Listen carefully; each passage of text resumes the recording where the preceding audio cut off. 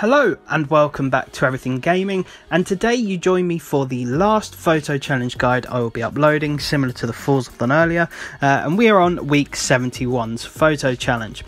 Now just before I get stuck into this if obviously I won't be uploading any more of these for Horizon 4, but I will be for Horizon 5. But if you're continuing with Forza Horizon 4 and you do struggle with any photo challenge, then please do check through all of my videos because I've covered every single one to date and they are just being repeated now. But if you can't find the one you're looking for, just drop me a comment and I will pick it out for you and uh, reply to your comment with a link to that one.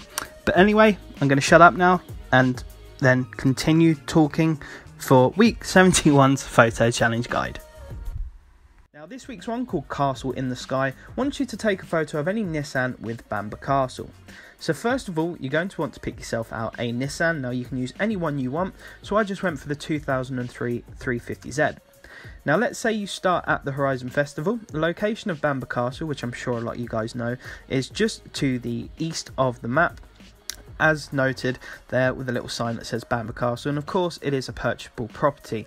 Now, the only reason I'm showing you guys that is because some people may not have been playing the game for a long time, so they may not be fully aware of where everything is.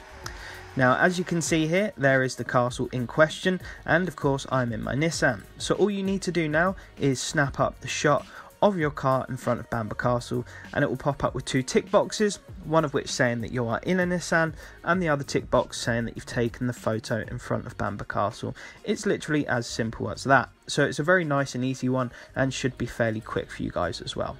Now if you are struggling with anything, just let me know down below in the comments and of course I will try my very best to help you guys out um, as best as I can really. And if you've got any other questions, regardless of if it's related to this video, I don't really mind. Just let me know down below in the comments. I'm always happy to try and answer them.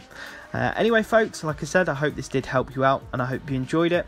If it did and you're new to the channel, I would very much appreciate if you could subscribe and don't forget to hit that like button as well. But apart from that, folks, I want to wish you all the best. Make sure you take care and stay safe.